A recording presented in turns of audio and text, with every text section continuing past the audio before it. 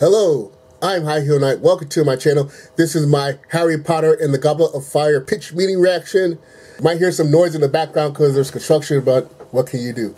Three, two, one. So, you have that new Harry Potter movie for me? Yes, sir, I do. Wow, so what's going on with the characters? Well, I'll tell you, sir. All the guy characters decided it's time to have long hair for a year. Oh, okay, that's kind of random. A little bit. Is that the only thing going on this year, or? Nope, there's more, actually. So, Harry and Hermione and the Weasleys are gonna go to this thing called the Quidditch World Cup. Okay. And they're also going with Arthur Weasley's coworker and his son, Cedric Diggory. How were we introduced to him? Just the normal way, you know, he suddenly drops out of a tree. That's not normal. Sure it is. so they head to the World Cup and there are a ton of wizards there. Very cool. Wow, I can't wait to see what the Quidditch World Cup is like. Right? Sounds super cool, doesn't it? So then we're gonna cut to right after it's all done. Oh. And the event's gonna get attacked by some Death Eaters and Harry's gonna get knocked unconscious. Oh no. Yeah, and so later he wakes up and everything's been burned to the ground and he's the last one there. Not a single person saw him there and he wasn't affected by the fire or smoke. That's what we're going with. And then this Death Eater, Barty Crouch Jr. shows up and shoots a dark mark into the sky. Oh, very ominous. Anyway, so eventually Harry goes back to Hogwarts and Dumbledore gives his annual speech about all the ways the kids might die this year. As is tradition, sure. so what's going on this year? Well, this year Hogwarts has been chosen to host something called the Triwizard Tournament. And what's that? It's this big competition between three wizarding schools. So a bunch of people from these two other schools come in and do little dances for some reason. Oh, that's fun. so to have a chance at being chosen, you need to be at least 17 and you need to put your name in something called the Goblet of Fire and only one wizard per school can be chosen. Okay. And once the three names are chosen, somehow there's a fourth name and it's Harry Potter. Wait, so are the students from the other schools just gonna live at Hogwarts now? Yes, even the ones that weren't chosen? Yeah, they're all just gonna kind of live there for a year. That's kind of weird. No, it's not. So then Dumbledore runs up to Harry and shakes him like crazy and says, Harry, did you put your name in the Goblet of Fire? Oh, that doesn't really sound like Dumbledore. Isn't he more calm and collected? Oh, yeah, that's a good point. Well, I'm profoundly angry inside all the time, so maybe I projected onto him a little bit. You should maybe see somebody about that. No! All right. So anyway, this is a super dangerous tournament, and if you're chosen, you're magically bound to compete. What does that mean? You have to do it. Right, but what happens if you don't do it? I don't know. I guess you die or something, right? That seems to be the implication. Why would this be a thing? Well, sir, they really want to know which school has the best wizard child, so death's got to be on the table here. Oh my god. So throughout the year, Harry's got to figure out what these three events are going to be and how he should prepare. Got it. And freaking Draco Malfoy's going to drop out of a tree and make fun of him. Why is everyone up in trees? So they can drop out of them at the starts of conversations. But so anyway, then this new teacher, Mad Eye Moody, pops out and confronts Malfoy, turns him into a ferret. Why is he called Mad Eye Moody? Well, one of his eyes is magic and zooms in like a camera lens and goes. Isn't it magic? Why is it making mechanical lens noises? Unclear. But anyway, at the end of the movie, there's gonna be a big reveal where Mad Eye Moody was actually that Barty Crouch Jr. guy the whole time taking Polyjuice potion. Oh, very twisty. Extremely, sir. So for the first event, Harry's gotta steal an egg from a dragon. Oh boy. But this thing breaks loose from its chain and chases Harry around Hogwarts. Wow, so I guess the teachers must intervene, huh? A dragon is loose on school grounds. Now they just kind of watch. That checks out, actually. That seems on brand for them. And then once he gets the egg, he's gotta go listen to it underwater while a ghost tries to look at his wiener. What? So then eventually for the next competition, he's gotta go underwater for an extended period of time. Oh, how come? Well, because see, the organizers have kidnapped people that the champions care about. So like Ron and Hermione are there. There's the eight-year-old sister of one of them. Underwater. Get tied up underwater. So Harry saves the life of Ron, but also of the eight-year-old girl since her big sister got eliminated. Oh, wow. So obviously Dumbledore gives him some extra points for bravery because he does that any chance he gets. Wait, so they just kidnapped some kids against their will and put them underwater and we're gonna let them drown if the champions fail the task. Yeah, that little girl would have drowned to death if Harry hadn't saved her. Yeah, because like I said, they gotta know which young wizard is the best young wizard. So yeah, she would have drowned. This,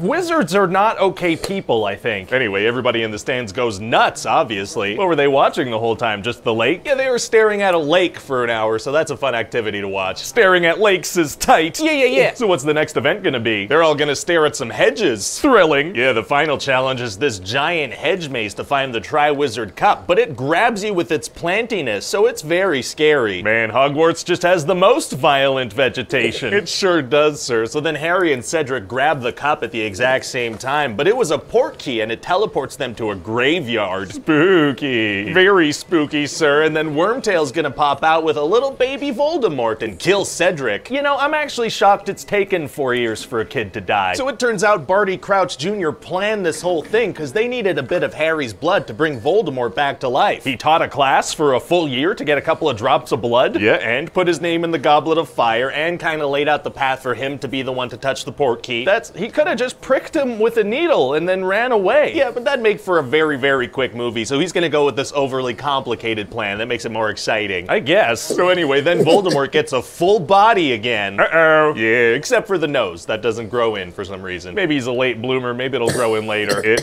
won't. So now Voldemort wants to kill Harry. Oh man, it's gonna be hard to survive an encounter with the Dark Lord. Actually, it's gonna be super easy. Barely an inconvenience. Oh, really? Yeah, because he gets some help from a couple of friendly ghosts. Oh. Do these ones try to look at his wiener? No, these ghosts are his parents' ghosts. And also Cedric is a ghost, and he's pretty chill about being dead. Our ghost back up. Yeah, so then Harry's able to grab the port key and go back to the tournament. Well, good thing it was a two-way port key. It worked out pretty well, sir. So then everybody's in shock that Cedric is dead, and Harry takes off with Mad-Eye Moody. And does Harry figure out that it's not the real Mad-Eye Moody? He does, and then this guy recaps the entire school year for so long that Dumbledore and some teachers have time to bust in and help Harry. Oh, great. Yeah, and then coincidentally, at that very moment, his Polyjuice potion runs out. Fantastic dramatic potion timing. Definitely. So what do you think? Well, it sounds like a great Harry Potter movie, you know? Thank you. I just feel kind of bad for whatever actor's gonna play that Cedric Diggory character, you know? In all probability, that'll be the biggest role of his career. Yeah, yeah, poor guy.